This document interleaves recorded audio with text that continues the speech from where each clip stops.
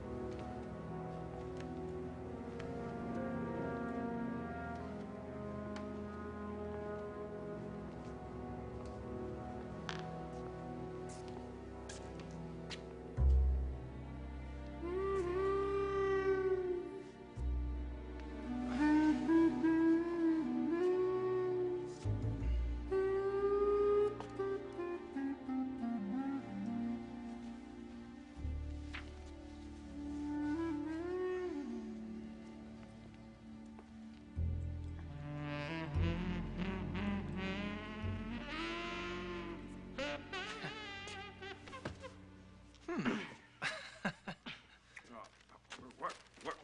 What's this? What's so funny, CK? Why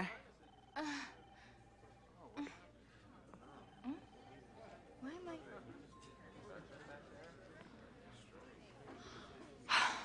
Griffin.